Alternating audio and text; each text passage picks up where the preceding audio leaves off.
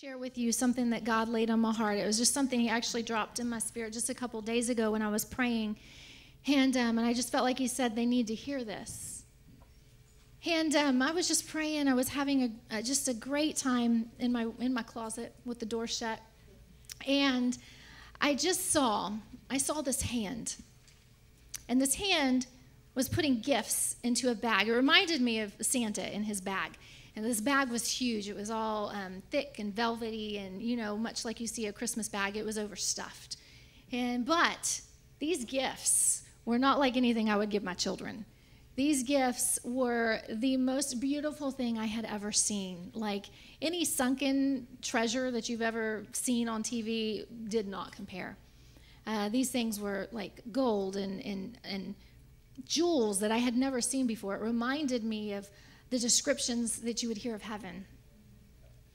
And then I realized that this hand, this was God. And He was putting these gifts, and it wasn't just a bag, it was me. And what He wants you to hear today is it's also you. And He said, My child, these are gifts that I give to you.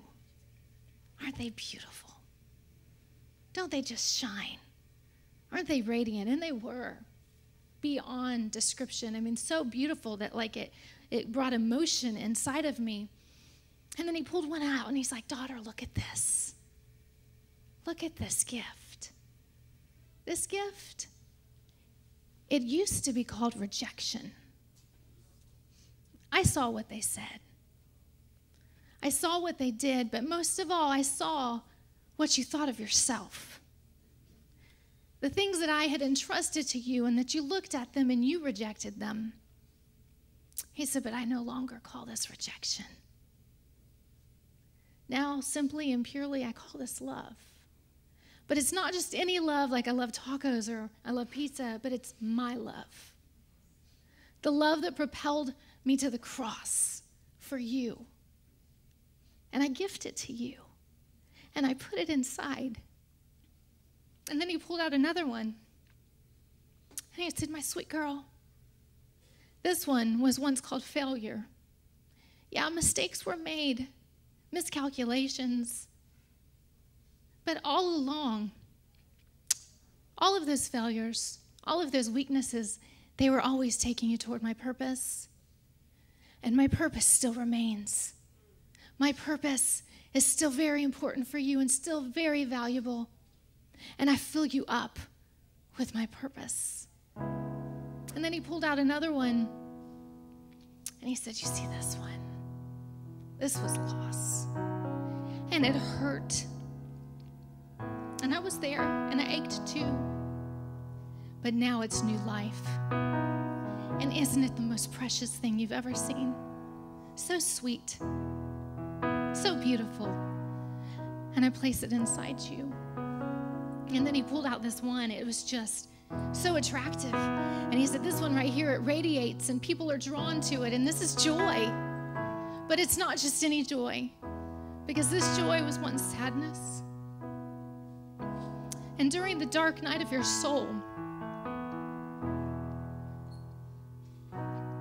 when you didn't think you would see the light of day, I was there and I was your light.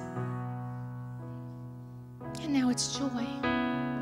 It's a joy that the world didn't give and the world cannot take away. And I give it to you. And then he, the last one that he pulled out, he pulled it out and he said, This one. This one right here. This is proof that you walk so near me, so near me that you feel my heartbeat. Because this one is betrayal, this one is disappointment. This is the one that made you feel lonely. And he says, I've been there. This one, this is testimony to the fact that you are my co laborer. Because now what I call it is redemption. And not only do I redeem you, but I also redeem the one that hurts you. And so in this one, you walk like me, you love like me, you forgive like me. In this one, it is so evident you are my daughter. And I place it inside you. I don't know what your words are today, I don't know what the world has spoken over you, what has happened, what they've said, what you have said of yourself. But God has a better word. He has a better word, and He wants to fill you up with it. And Father God, we just simply come today. We show up. We want to feast on what you have for us. We want to lean on you, and we want that higher perspective sitting beside you. Oh Lord, now, as we do that, we ask that you do what only you can do in those moments, that you would fill us up. Because we know there is nothing else that would satisfy. There is nothing else